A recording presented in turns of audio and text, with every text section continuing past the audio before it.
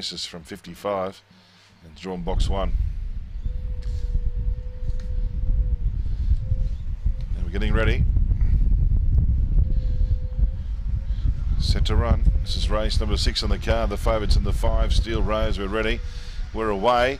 Steel Rose, she began only fairly deep out. High Radar was showing good pace. Remember me, Rose going up and then followed by Avondale Tara. Oh, Steel Rose, she all but fell. She's out the back. Favourites gone. Tickets confetti you're on the favourite. Avondale Tara in the back, led by three quarters, Hopping Houdini. So the second and third favourite come clear over high radar. A breakaway, remember me, Rose, and off the track, Ipswich Melody. Isla Rose high, then followed by Steel Rose and McGallan around the turn though. Avondale Tara just in front, Hopping Houdini going to it, in turn high radar coming at the hit the line. Hopping Houdini and high radar, nose for nose, the outside possibly. Third, I'm not really sure here. Uh, remember me, Rose was flying home at the end as the other one, Avondale Tara, was stopping. And then Isla Rose high, uh, followed in by McGallan, Melody, and the favourite Steel Rose nearly fell. Probably the three on the outside, but don't hold me to it.